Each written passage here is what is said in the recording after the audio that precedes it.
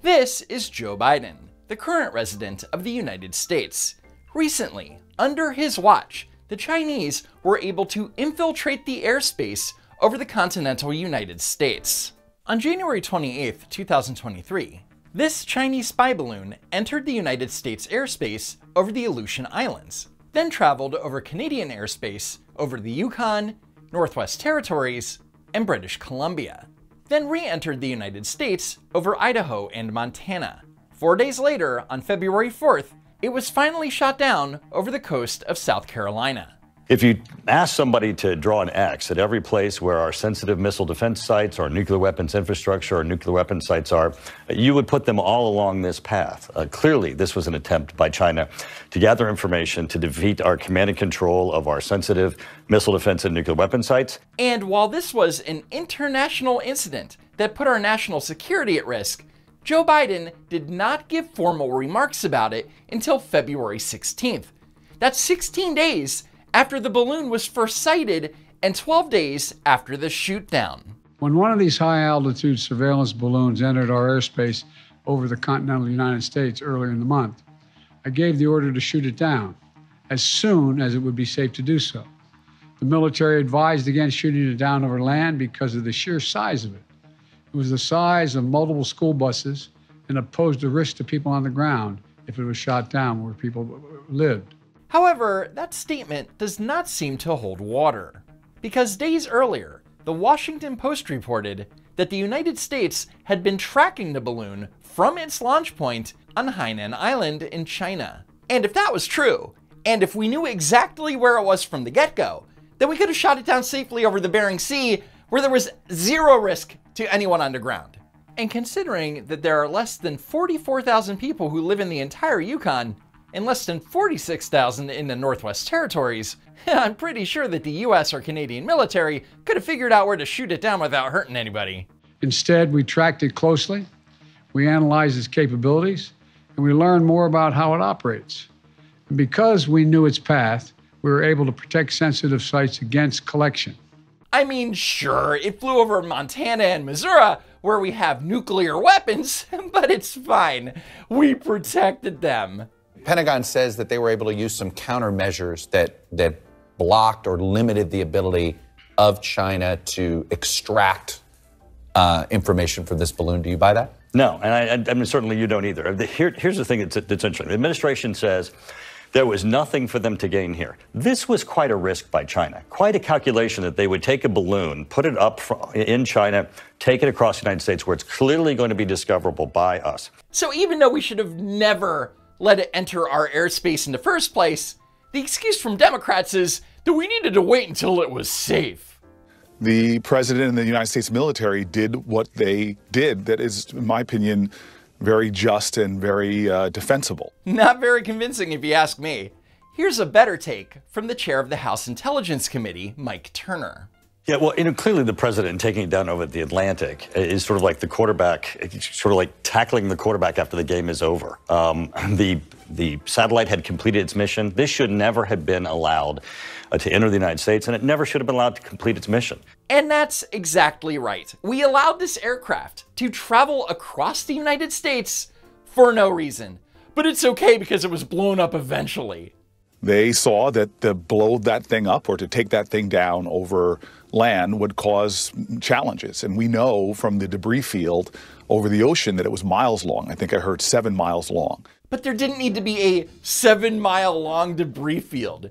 Because according to retired Lieutenant Colonel Tony Shaffer, we didn't have to wait until it was over the ocean or blow it out of the sky despite what the Pentagon says, there were methods available to bring that balloon down using air, airborne lasers, where you basically puncture the balloon, you bring it down in a controlled rate into an area which would not have required a catastrophic uh, explosion of the device. So that that opportunity was missed. Fact check true. And according to Shaffer, NASA currently has this airborne laser technology installed on two of their aircraft. But instead of utilizing it to bring these balloons down in a controlled way, we fired a short-range air-to-air missile at it, which helped create a wider area of debris. Since I came to office, we've developed the ability to identify, track, and study high altitude surveillance balloons connected with the Chinese military. Hard to properly study an object you've blown to pieces with a missile, but whatever, Joe. Last week, in the immediate aftermath of the incursion by China's high altitude balloon, our military, through the North American Aerospace Defense Command, so called NOR- NORAD, closely scrutinized uh, the, uh, our airspace, including enhancing our radar to pick up more slow moving objects above our country. And after enhancing their radar, so called NORAD picked up three more high altitude airborne objects. One over Alaska on February 10th, the Yukon in Canada on February 11th, and over Lake Huron on February 12th. The intelligence community's current assessment is that these three objects were most likely balloons tied to private companies, recreation, or research institutions studying weather or conducting other scientific research. I gave the order to take down these three objects due to hazards to civilian commercial air traffic and because we could not rule out the surveillance risk of sensitive facilities. So the balloons were either conducting harmless scientific research, or they were a surveillance risk. Or maybe it was the house from Pixar's Up, who knows? But just in case, Joe Biden ordered them to be blown out of the sky with heat seeking Sidewinder missiles. Whoa! it was the only way to be sure. Later, after Biden's remarks, Aviation Week reported that one of the three unidentified objects may have been a Pico balloon that was launched by the Northern Illinois Bottle Cap Balloon Brigade.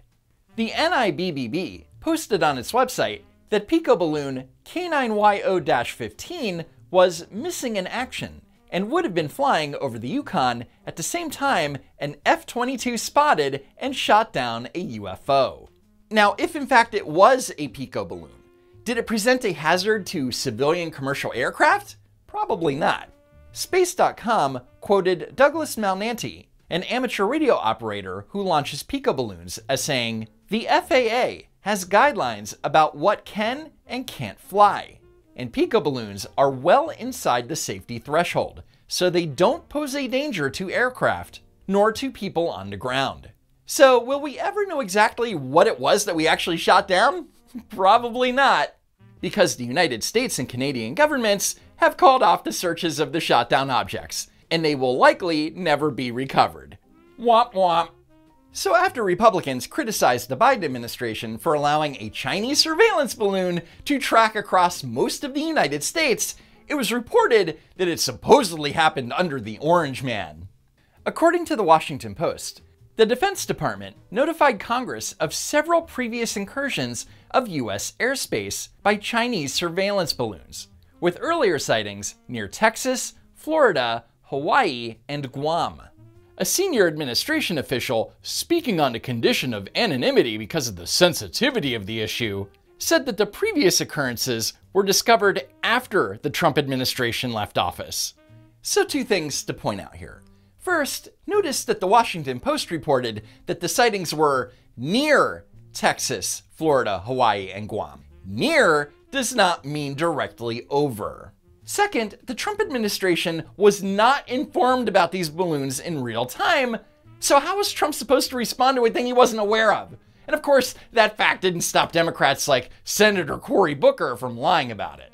Uh, I, I think what is it's problematic when uh, for Democrat or Republican have one standard for one president and another standard for another president. Mm-hmm. We should remember that this is now known to have happened under the Trump administration multiple times. Again, you can't criticize President Trump for not shooting down a thing that neither he nor the US military didn't know about until months or years later.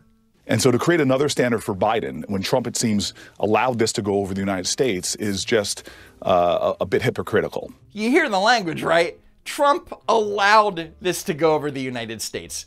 You mean the thing that he didn't know about? Come on, man. Also, when and where did these incursions supposedly take place? Well, the Biden administration will never make that information public because actual facts could benefit Trump, and Biden can't afford for that to happen.